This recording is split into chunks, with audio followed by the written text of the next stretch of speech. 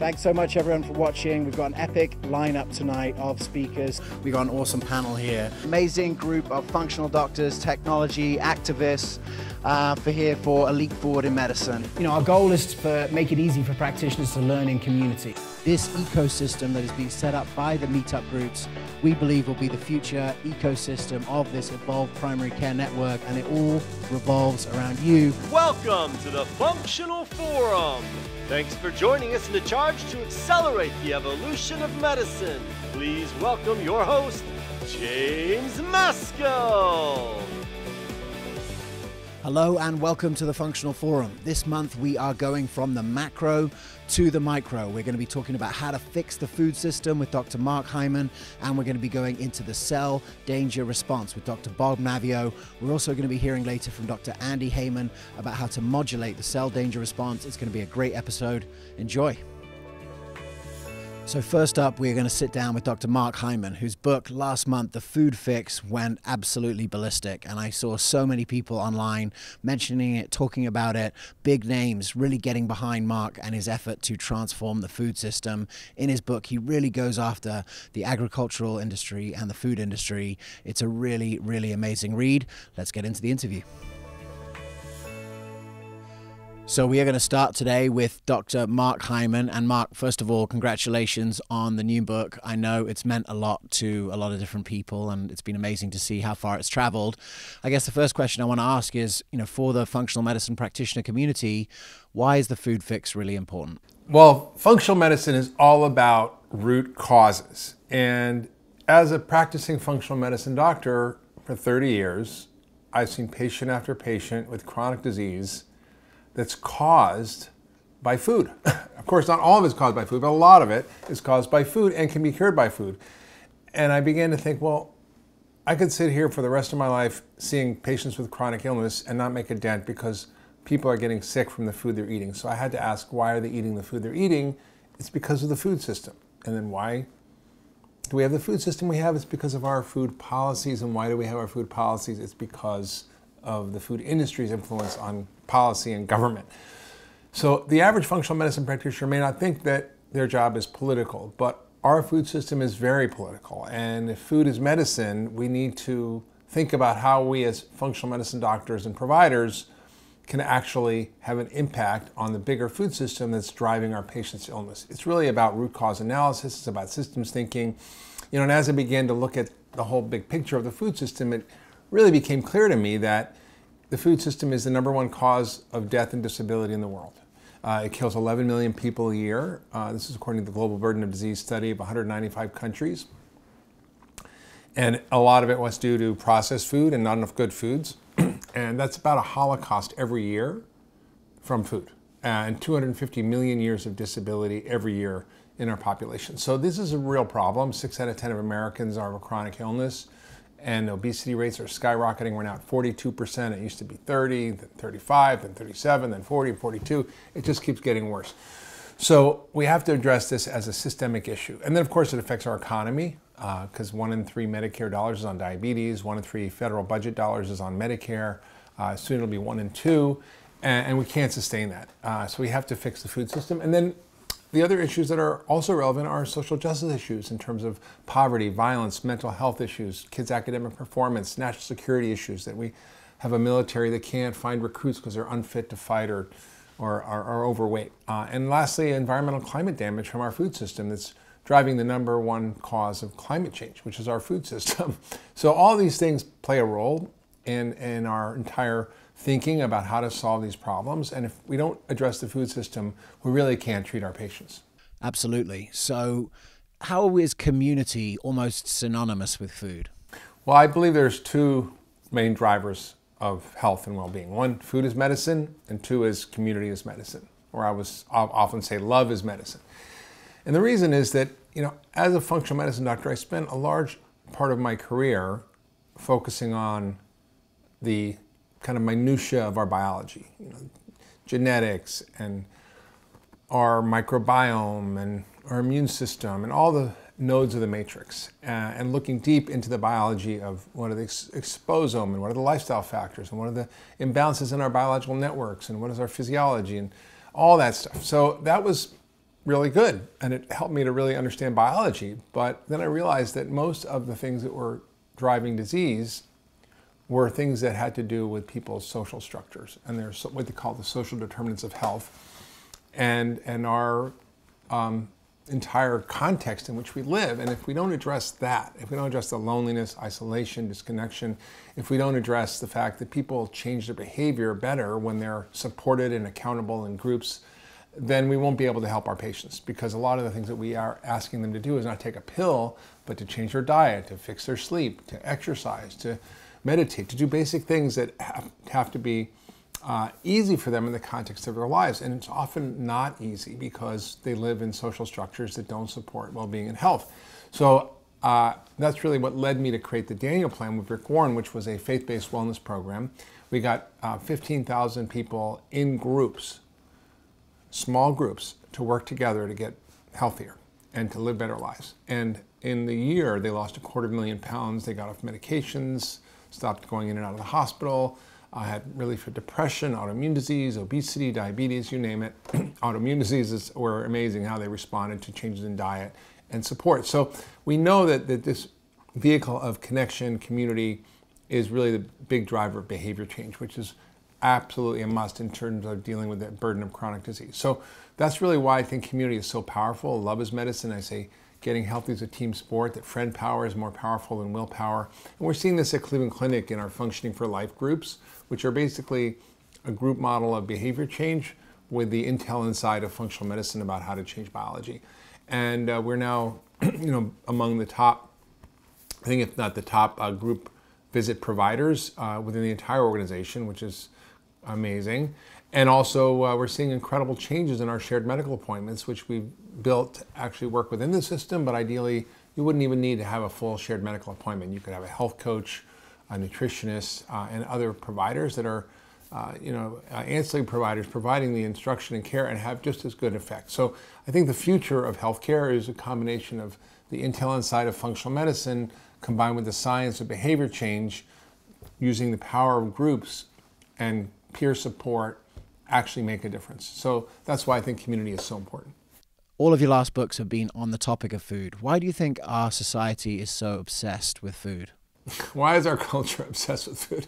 Because we like to eat, uh, and uh, our entire existence depends on us eating. Our culture is focused on eating. Our families are often built around eating. So we're very obsessed with, with eating. But recently there's been an increased surge of interest in in healthy eating, whether it's ketogenic diets or vegan diets or paleo diets. Uh, and there's a you know, huge interest in the power of food as medicine now, which wasn't there before. And I think that's very exciting to me. You've got big companies talking about it, you've got the government talking about it, you've got healthcare systems like Cleveland Clinic creating a food as medicine program. So we're really in a, in a unique situation where we're, we're breaking through to understand that you know, food is such a powerful vehicle for health and well-being. And so I think that's part of why our culture is so obsessed with food.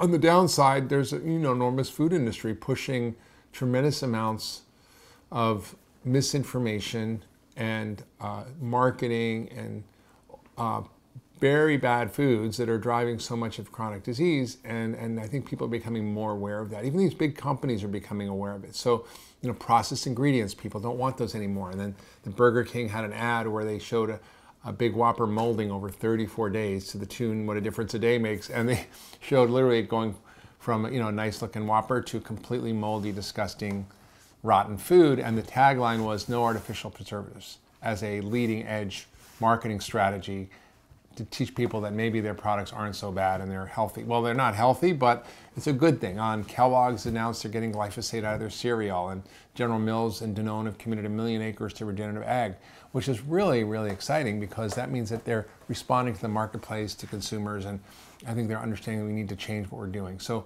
we have to fix our food system, and that is really how you know we're going to get our, out of this disease epidemic mess, the chronic disease that's killing so many people around the world, 70% of deaths worldwide.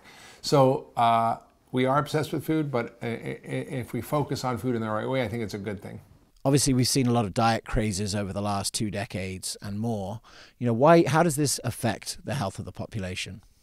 Well, I mean, the truth is that there are all these diet wars: paleo, vegan, keto, low fat, low carb, high carb, low carb. I mean, it's it's it's kind of crazy, and it makes people crazy. But the truth is that all those health-focused ways of eating have far more in common with each other than they do with a typical American diet. In fact, my book Food Fix is number one in both paleo and vegan, which I uh, take as a uh, very good sign that we're breaking down these diet wars, we're breaking down these dichotomies, and people really want to understand how to eat well for them and for the planet. And and um, I think we need to move away from this oppositional approach. I think we need to sort of understand what are the common principles of nutrition. I jokingly call it the Pegan diet. Uh, I've also been talking lately about the regenitarian diet, which is a way of eating that helps regenerate the earth and your health and the well-being of animals. And it's a, a very different way of framing food as opposed to meat or no meat. It's about how it's grown and where it's grown and with what it's grown and, and how and the animals are cared for or not. And that is really an important concept. So I, I, encourage you to check out regenerative agriculture and the concept of regenitarian, which I sort of made up. and, and then the Pegan diet is really just looking at what are the common principles of what we all agree on. You know, I, I often joke, I was at a sort of a conference when I was on a stage with a paleo doc and a vegan doc, and they were fighting, and I was in the middle, and I was like, well, if you're paleo and you're vegan, I must be pegan. And I was joking, and I thought about it, and I was like, wait a minute, there's more in common that they have with each other than traditional uh, American diets. They both agree that we should be eating a lot of plant-rich foods, that we should have nuts and seeds, that we should have good fats, that we should eat tons of veggies and fruit, um, that we should avoid dairy. I mean, whether that's controversial, but should we avoid dairy? And then, and then there's the you know, things that are different, which is basically where you get your protein, from beans and grains or from animal protein. That's the only difference. Uh, and I think if, if you look at that, it's, it's kind of uh, it's kind of a false dichotomy. I think grains and beans, when prepared properly in their whole form, are a healthful food. I think uh, the evidence is certainly not definitive that meat is bad. In fact, there's a lot of evidence that it's very good for you in terms of its nutrient density, protein quality, uh, the nutrient content, and, and much more. And if it's grown in a way that's regenerative or sustainable or pasture raised, you know, and the animals are cared for, it actually be a better strategy for regenerating the planet than just plants. And people don't understand this, but um, and I was sort of shocked to learn when I was researching my book, Food Fix, that uh, just in the process of plant agriculture. So if you're vegan, you're just plant-based, the act of agriculture is so destructive to ecosystems that it destroys the habitat of so many animals. And in the process of harvesting and growing the food, many animals are killed. Uh, in fact, 7 billion animals are killed growing plants every year uh, in America. And uh, that's pretty striking compared to 29 million cows, which is a lot, but it's far less than the 7 billion. So is a rabbit's worth life worth less than a cow? I, I don't know. I mean, you have to decide on that yourself. But I think we just should be real about what we're doing in terms of agriculture in general. And I think then we, we need to look at what kind of ways we grow the plants. If you do industrial organic or conventional farming, you might be destroying the soil, using lots of water and resources, and actually contributing to climate change. Whereas if you have regenerative beef, compared to an, you know, a GMO soy burger, which is very popular now, you actually are uh, adding carbon back into the environment, into the soil, as opposed to with the GMO burger adding carbon to the atmosphere, which is causing more climate change. So it's not such a false dichotomy as, economy as meat, no meat. It's not the cow, as Russ Conser said, it's the how.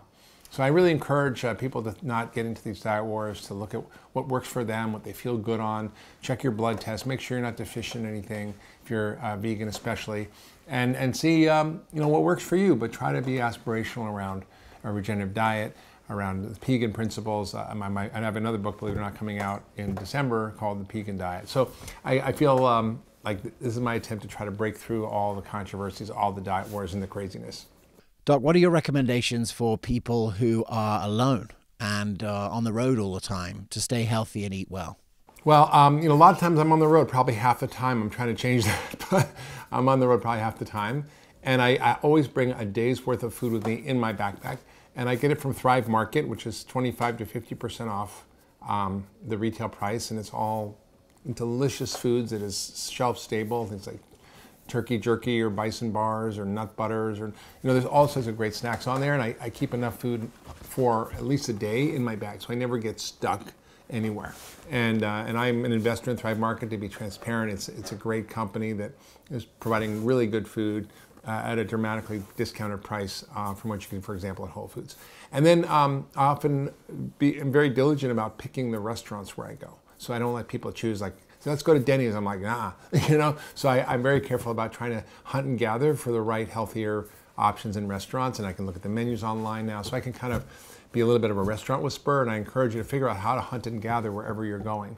And I do the same thing with, the, with my health and fitness. You know, I'm, I'm always tracking where's the yoga class, or where can I go work out, or where what can I do that you know keeps me healthy on the road, because it's really really important. and I think I think it's a, a myth that you can't do it because you know, like I said, I'm on the road most of the time. I eat really well. I don't, you know, get into trouble. You know, sometimes I'll go off the rails a little bit, but if you're a little smart about it, uh, it's possible. And even in airports now, there's healthier food and healthier options, and uh, you can get actual real food, which is striking to me. So the, the things are changing. So, final question How can our practitioner community really get involved in fixing the food system? Well, I think all of us have to be part of the change for the food system, whether it's changing what you're doing in your own life. And on my website, foodfixbook.com, there's an action guide, Food Fix Action Guide, which is free. Uh, and it has over 20 different suggestions for what we can do as individuals. As healthcare providers, I think we should be innovating around food as medicine in our practices with groups, shared medical appointments, uh, and, and pushing pushing forward to try to actually incorporate this in our own systems, but we're going to have to shift reimbursement. We're going to have to go towards value-based care. That's actually happening. So I think, you know, as a matter of time, food as medicine will be reimbursed, medical prescriptions for food will be, will be reimbursed, and people can have access to a different kind of care that we provide, uh, which we're uniquely suited to provide. So uh, whether you want to just do it in your own clinic, whether you want to be a voice for change in your local state or on the federal level, whether you want to get involved in your community with you know, various kinds of initiatives around food as medicine, food prescriptions, um, even things like composting, community gardens, all these things can be really awesome. So I, I think food, uh, food is medicine for sure, but practitioners need to also understand that their, their clinic doesn't end at the walls of their clinic. It actually needs to encompass the greater community in which they live and understand that, that the food system needs to be addressed and they can plug in wherever they feel uh, inspired to do so. Doc, thanks so much for taking the time to be here on the Functional Forum. Let's crack on with the next segment. All right, so now that we've looked at the macro, now we're going to go into the micro and we're going to go inside the cell to talk about the cell danger response with researcher Dr. Bob Naviaux. This new phenomenon that Dr. Naviaux has uncovered really backs up the functional medicine operating system for chronic inflammatory diseases. It was one of the most interesting lectures that I saw in the whole of last year, and here are some of the best bits for you today. So I'll give two talks today, one before the break and one after. The first one we'll try to weave together a lot of threads, okay? And, and you know, many of you know that uh, scientists are swimming in data from experiments. Um, and in order to communicate the large-scale results, you actually have to tell the story in reverse, okay? So it's through our discoveries of the chemistry used to regulate the different stages of healing that we are able to come to this more holistic understanding of, of, those stages and how they're dynamically regulated. But first, I've been studying for the last 30 years um, about 30 different diseases that have all increased between two and 50 times over the last 20 years. So you know, so many of these are ones that you all know about autism, post traumatic stress disorder, post treatment Lyme, chronic fatigue syndrome, but environmental childhood cancers have also increased. Okay? And um, so the question is our genes don't change that fast in 30 years, so what's happening in our environment and what is it that is causing us to react to that, uh, to the environment in ways that lead to disease. Okay, so um, I'll go back to the, uh, a, a line from um, a poem of John Dryden's in 1681 um, that self-defense is nature's oldest law. So everyone in this room is descended from ancestors who had every gene they needed in order to survive every famine, every cold winter, every plague before they had at least their first child. Okay? So we've, we've inherited that legacy, okay, that genome, that, that pool of genes. But the world is changing. And so those genes are now interacting with new environmental factors. And, and I call that an ecogenetic mismatch. Um, and I see an ecogenetic mismatch as fundamentally the basis of all chronic illness. So this is a map. It happens to be of mitochondrial DNA, um, uh, you know, um, movements, migrations over history. In the last 300 years, we've had movement um, uh, from North, uh, North Northern Europe and Africa to the United States, which changed the microbiome that people were exposed to. Um, and also, our culture is changing rapidly. And so, the, this M haplogroup that happens to be present in, um, uh, as a dominant haplogroup in, do I have a, oh yeah, um, haplogroup in India. Um, the, there's been a rapid westernization of, of, of, of Indian culture that is leading to this explosion of Western diseases like diabetes and obesity and cardiovascular disease. Okay. And so ecogenetic mismatches lead to chronic illness. So in the beginning, life evolved in the sea, and it, we used small molecules um, uh, in, in order to conduct the business of life. Um, and but what's happened in, in the world since those beginnings is that just the activity of, of, you know, of humanity has ecological impacts on, on parts of the world that we don't often pay attention to, but there is, many of you know, there's a, um, a North Pacific garbage patch that is now twice the size of Texas. Um, and it's made up of 90% of it is made up of plastics and microplastics. Um, I was on a, uh, a um, an expedition, a cruise um, off the coast of California called the uh, Cal Ecos cruise. There's a recent science paper that actually used some of the um, box core, ocean core sediments in order to show this exponential rise of plastics that have occurred since World War II in the, the, the layers of sediment um, deposited since, since 1945. Um, that just came out last week. Let's see. So, but the chemistry of the sea today includes a lot of these other molecules that are familiar to people. Um, so, dioxins, bisphenol A, Roundup, benzidine, paraquat, number of pharmaceuticals. Okay, so our, our world is experiencing a, an invisible rising tide that for the most part we're really not measuring. But this rising tide gets into our food chain and to our water and our air and influences gene expression and influences metabolism. So this is a, uh, a plot of the rising prevalence of, of autism that has occurred over the last 30 years. Um, but it's not just autism. You know, so this is a, um, a, a, plot of type 1 diabetes. And since 1990, there's been also an ex, you know, exponential rise in type 1 diabetes. So that's a, you know, an autoimmune disease uh, destroying the um, islet cells of the pancreas. So how can you start putting together you know, an autoimmune disease on the one hand, autism, which is thought to be principally a neurodevelopmental disorder of synapse function, um, with uh, all those other diseases that are also, again, diseases you can think of as bubbling up through a sea of probability of our own making. okay? So, so when you start seeing an increase in chronic fatigue syndrome that's been about 50 fold since 1985, okay, um, or autism, uh, or um, uh, inflammatory bowel disease, or something simple like um, uh, peanut allergies, okay, what brings all these things together? They're happening together. It's a set. These are not independent things, okay?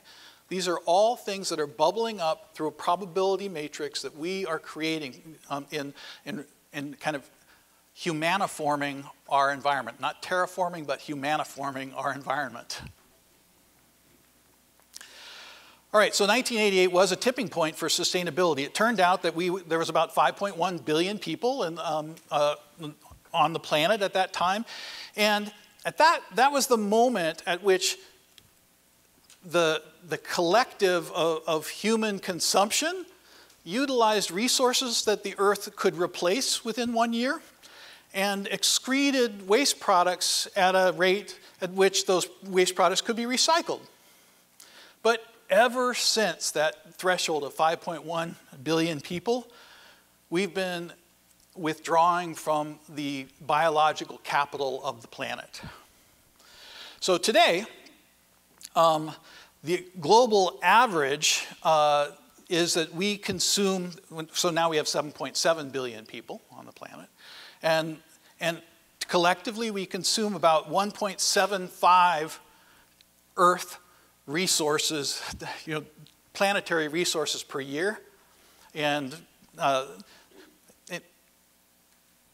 but US consumes about five times the one, you know, five Earths a year per, per capita versus India at 0.7. All right, so let's start putting that, those kind of global facts into medical um, perspective. So, the first thing you need to know about metabolism is that the brain controls metabolism. I'll, I'll say that. okay, so, so um, and, and this has been a real re- revelation that every disease that psychiatrists have said have just been a brain disease, we find to be a whole body disease when you look at the chemistry. Okay. So, the brain interacts with a variety of different sensory systems. So, you know, our, our five canonical um, uh, symptom or senses uh, of, you know, of, sight and sound and, and uh, taste and, and smell and, and touch. Um, but also all of our different organs interact in different ways with, um, the, with the environment.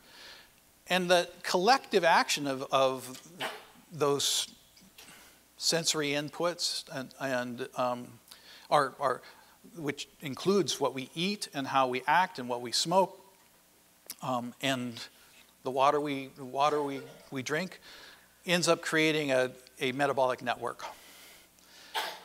That produces a chemical signal that is under continuous subconscious monitoring by what are called circumventricular organs. So there are eight cir- circumventricular organs um, in the brainstem and, and uh, midbrain that uh, many of you will know about the area postrema um, in the medulla that is the, um, a, a, chemosensory zone for, um, let's say, uh, the, a vomiting response to um, in, ingesting a toxin okay, or a chemotherapy during cancer. Um, but anyway, these, these zones are in the brain, in the central nervous system, but do not have a blood brain barrier. Okay? So they are continuously monitoring the chemistry, okay? Not just the osmolality of the blood, not just the oxygen content of the blood, but also the metabokine signals in the blood. So metabokines are metabolites that have signaling function outside the cell and actually bind to receptors. All right. And adjustments are made in gene expression uh, according to the metabolic uh, networks that occur in this dynamic interaction with the environment. Mitochondria are like a canary in the coal mine. You probably heard that many, many times, but you know, their, their, their job is to constantly sense life through the flow of electrons. Okay? So if something comes into the cell and begins to steal resources, that's perceived as a, as a voltage drop across mitochondria. Okay? Electron flow to mitochondria decreases. And that can be a virus, a pathogen, it can be a polycyclic aromatic compound. Um, you know, uh, it can be any number of different things. But then when mitochondria see that, um, they instantly, I mean, this is within seconds, change structure and function. So I'll go through a lot of these other things, but you know, roughly, uh, mitochondria are uh, contain um, proteins that catalyze over 500 different chemical reactions. And that when exposed to those danger signals of a, a voltage drop, a decreased electrons, um, uh, they will initiate a, a, phased series of responses, okay, a proportional responses. It doesn't, mitochondria does, don't have on off, they have many grades of change of function, okay? And because every cell has, you know, between 100 and 3,000 mitochondria, mitochondria within a cell um, create a kind of a metabolic vote, okay, about the, the overall health status of the cell. Okay, so the hub of the wheel, um, purinergic, uh, since I haven't introduced that, that word yet, but um, ATP and uh, so, so, so adenosine triphosphate, guanosine, and inosine are the three principal um, purines. Um, but the outside voice of the cell uh, in terms of, of uh, purine signaling ends up being adenine containing uh, purines. Okay? Um, the inside voice turns out to be guanosine containing purines, okay? But the outside voice, through, um, signaling to, to G protein coupled receptors and ionotropic receptors, um, are ATP. And also, this purinergic signaling um, uh, embraces uh, specific pyrimidines, including uh, uridine and uridine diphosphate, so, which also bind to these receptors. But I'll talk about uh, these nucleotides as one class of metabokines. Okay. Metabokines just being metabolites that have one function inside the cell, but a completely different function. Well, an informational function outside the cell. So Dr. Heyman talked about, you know, kind of classical mitochondrial functions and how that's evolved over time. And I, I, I think I put this, oh yeah, so, so that was a little, so I'll do that again. Watch, okay. So, um, so there's a honeybee that goes into a, an Erlenmeyer flask here. Um, and uh, we've, mitochondriacs um, have studied mitochondrial function in isolation um, since the 1950s, since the first tools for mitochondrial isolation um, from the cell came, uh, were, were, were, developed. And so that was uh, an important first step because it allowed us to purify the organelle from other subcellular organelles like lysosomes and peroxisomes in the nuclei. Um, but it also allowed us to then further purify the electron, the complexes of the electron transport chain, which were all found to be nanomolecular machines. They're multi-subunit complexes that all work together. So again, cooperativity is a theme that keeps coming back and you know so the more cooperativity a cell has the more function it has okay the less cooperativity the less function it has the more so yeah so well maybe this is the time to briefly talk about something we learned in economics from adam smith so um, adam smith came up with a, a phrase it does not pay for generalists to cooperate Okay? So that might take a look. So you can flip that. and You could say dramatically improved industrial output is achieved by cooperation of specialists. So on an assembly line for, you know, let's say making a Model A Ford, you know, you have a specialist that makes the frame, another specialist that puts together a carburetor, another specialist that puts together electrical system. cells achieve optimum function through diversity, through combining these specialist functions. Okay? All right, and so why do I use a honeybee? Because if you only studied a honeybee, you could, you could dissect it. You could, you know, um, in a living honeybee, you could actually do, um, uh, you know, uh, electromyography and study the electrophysiology of flight muscles, and you could study respiration. But you would not have a clue of the, the pivotal importance that the honeybee plays in an ecosystem in the outside world. Okay? You need to study it in its actual context. And what we've been doing for 50 years is studying mitochondria cracked open from the cell and studied in a little tube. Okay? And it, the, the, these new insights that really have only come over the last 10 years have come because we're starting to put mitochondria back into the cell. So mitochondrial DNA copy number sets the metabolic capacity. So the, the most, you know, um, the, the, cell that actually has the, the most ultimate metabolic capacity um, that is mostly resting, okay, is the primary oocyte that has over a million uh, mitochondrial DNAs per cell. Uh, cardiac muscle can be over 6,000, as can um, uh, hippocampal neurons. And fibroblasts are down at around 116. But why do I say this? It's because the more mitochondrial DNA per cell you have, the less capable that cell is of dividing. Okay? That's a really key concept. Okay? So, more mitochondrial DNA makes you more functional, okay? It gives you more capacity, but it also has it's well a tumor suppressor function, okay? It, it you, you could think of it that way, um, that it, it decreases the ability of the cell to divide. So,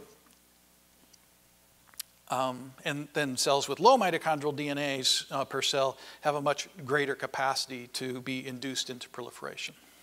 Okay?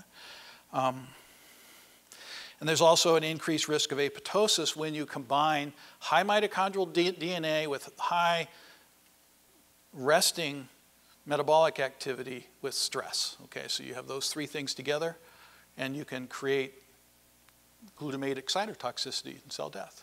Um, you can, well, I won't go into it anymore, but so, so when you look at, so you know, we put together a lot of, of um, different diseases that we kept on encountering in the course of our care of children with primary and adults with primary mitochondrial disease, and they came from, um, you know, different places all around the, the all, in all subspecialties of medicine,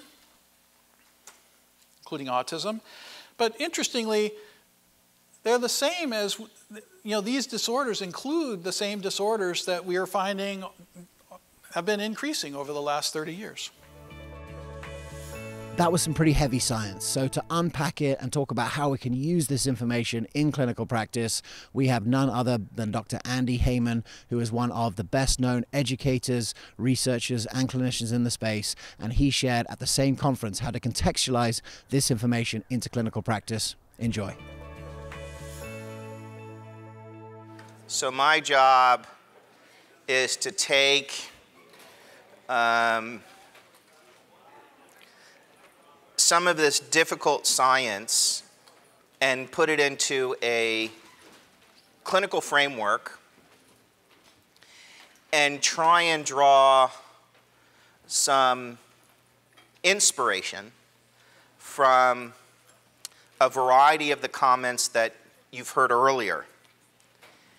And translate that into process of care, um, one that I can say, at least in our world, as a model of dysregulated mitochondrial metabolism, uh, we have some reliability on what I'm, what I'm going to present to you.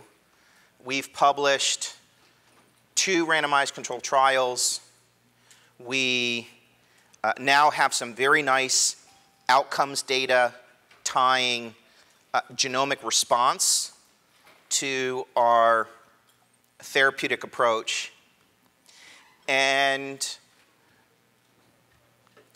while on the one hand, this is a framework that I apply to my biotoxin patient, I think it encapsulates in some ways a lot of what we already do. It will hopefully give you some additional tools that you might not think of and show you sort of where our typical limits exist and a few tricks on how to get over those last humps. Not easy. Not, not an easy topic, not easy patience. A lot of thought has gone into why do we do what we do? And just as importantly, uh, there's an order. There's an order. And hopefully, as I explain why I do what I do, the order will start making some, some sense. So let's talk about how do we unravel this mystery and create a roadmap. Some of you have heard this term not all of you. Uh, chronic inflammatory response syndrome. The new thinking, the new thinking for us, the new thinking for you, if you are familiar with this topic, is that ultimately this is a mitochondrial based disease. And I want you to leverage off that point to start thinking a little differently about these patients. By definition, this is an entity of chronic inflammation. And by virtue of that, there is a tremendous amount of cellular dysregulation. And what I mean is a fair amount of metabolic disorder that arises as a result of this inflammatory process.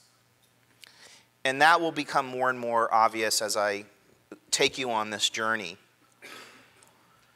This notion that patients can get stuck in these sort of permanent states of dis-ease is really critical to understanding a core feature of the illness and I mentioned it before this notion that once patients migrate into this pro inflammatory state, they have a very hard time getting out of it. In Dr. Naviaux's nomenclature, they're stuck in the CDR1 category. They are not able to migrate to two or three and by definition, this is the most pro inflammatory, the most pro oxidative, the most cellular derangement. It is the alarm phase of the cell, it is the alarm phase of the mitochondria. And as this unravels through the patient's physiology, it is an absolute disaster.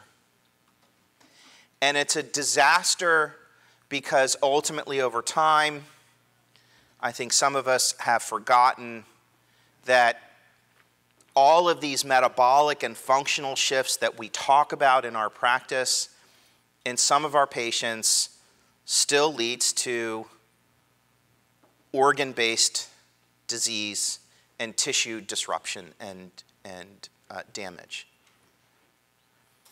So make no mistake, when people end up in this spot and they're getting sicker and sicker and sicker and they're unable to shift, they're injuring key tissues and organs in the body and some beyond repair.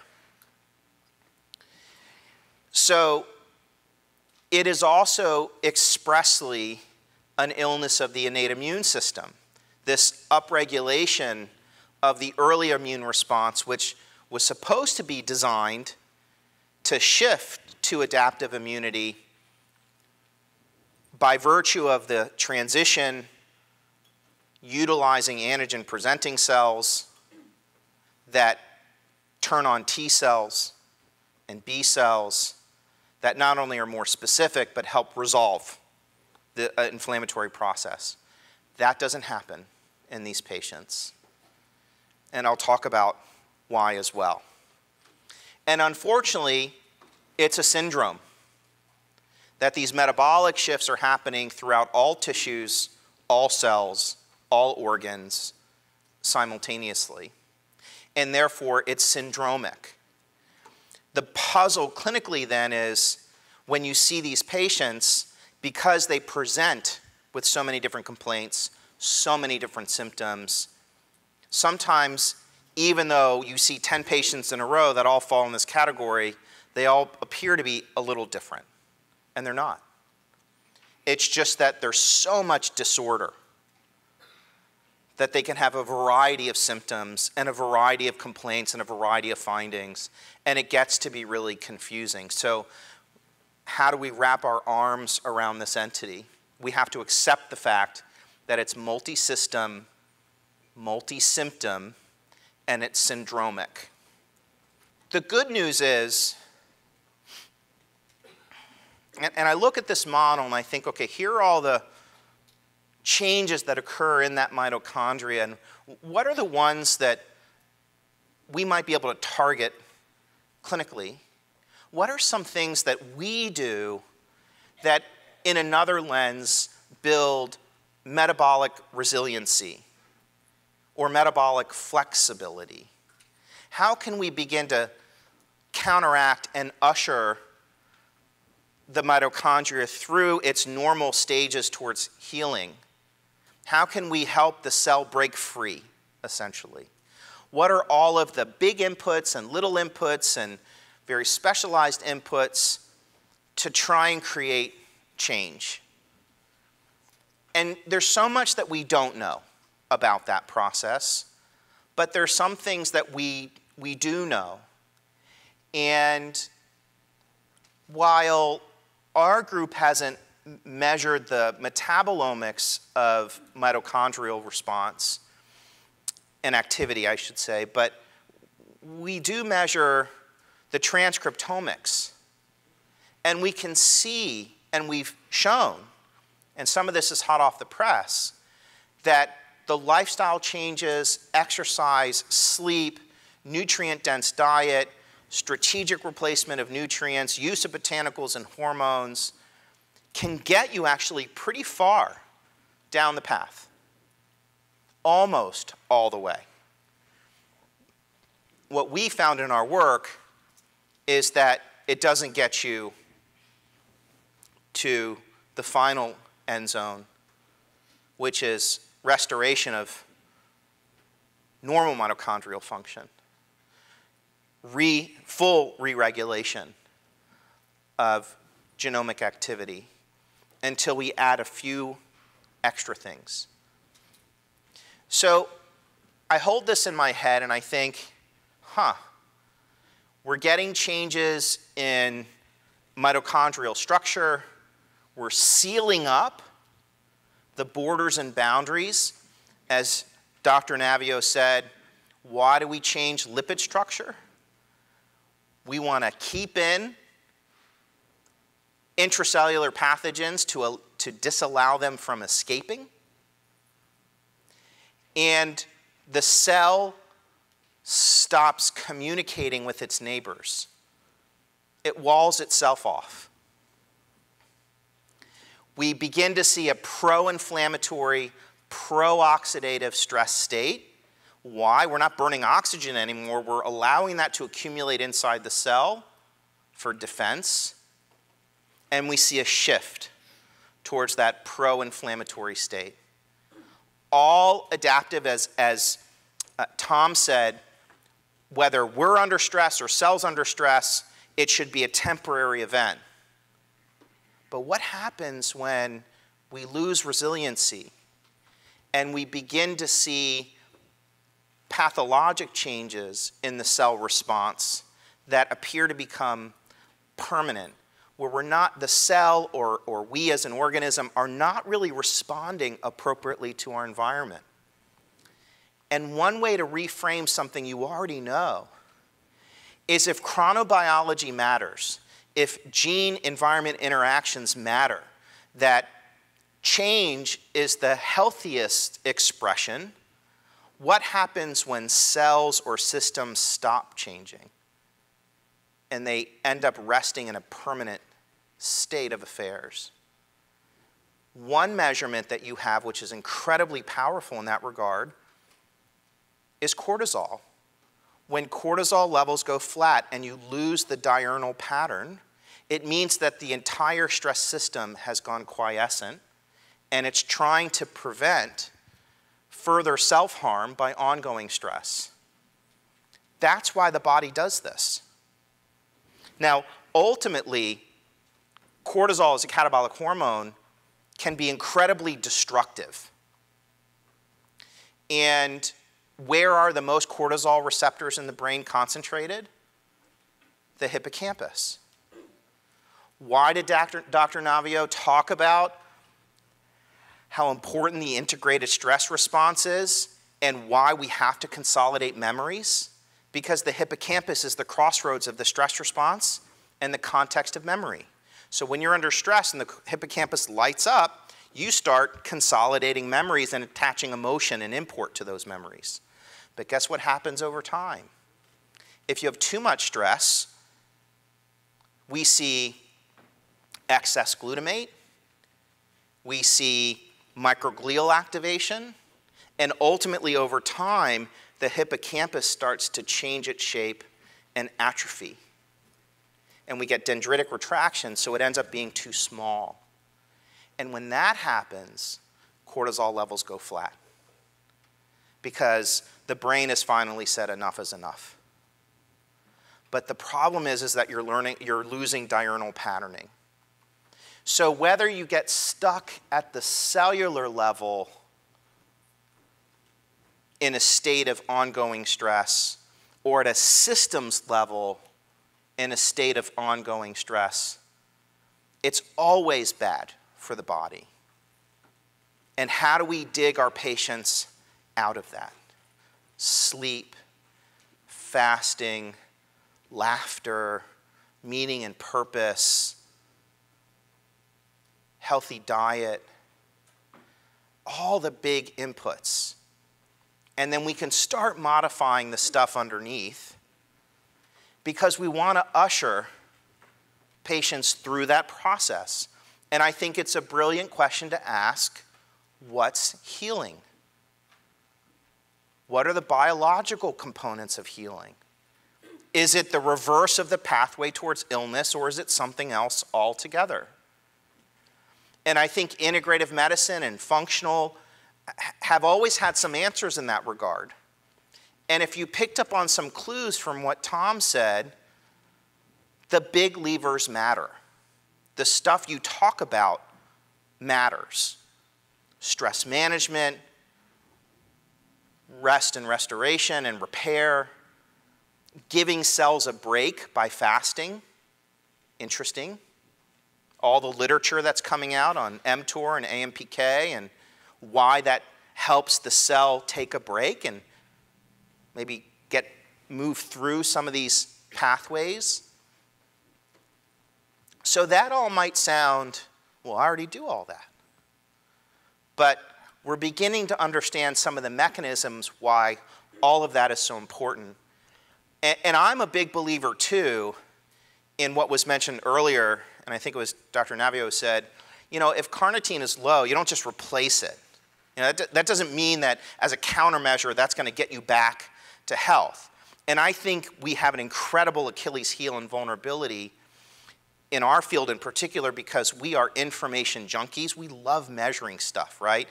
we go to these fancy labs and we can measure amino acids and fatty acids and hormones and toxins and you know all sorts of things now But just because something is low doesn't mean it's bad. Some, just because something is high doesn't mean it's bad. It's the pattern that matters. And so we have to be really careful about what are our countermeasures? What are the findings that we think might be clinically meaningful as opposed to just an epiphenomenon of the underlying disorder? And so we've thought quite a bit about this in our treatment approach. And while it may only hold true for the innate immune category, that's a big category. And I feel like if we don't shine a light on it, you're missing a lot of your patients and you're missing opportunities for healing. So, how big is it? We think it's about 22% of the population that carry alleles on that HLA that confer poor antigen presentation. And what's interesting in the literature is that this number, 22% or 20%, comes up over and over and over in a lot of disease categories.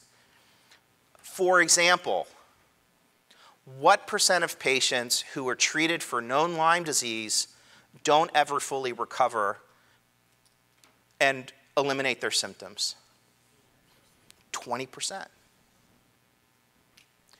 And we see this all the time. I mean, I could go through a lot of different illnesses, but, but this number seems to be persistent. And I think there is this vulnerability.